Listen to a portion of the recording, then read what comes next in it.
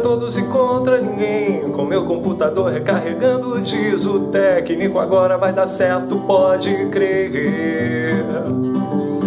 Não sei qual é a senha, mas também não lembro o nome do usuário. Se eu clico num link, peço ajuda, os minutos passam. Tudo errado, mas tudo bem. Tente mais tarde, mas o que é que eu fiz? Saia dessa aba pro programa responder. Uma janela de erro de sistema agora sobrecarregado. Se a página eu volto com a flechinha, eu perco os dados.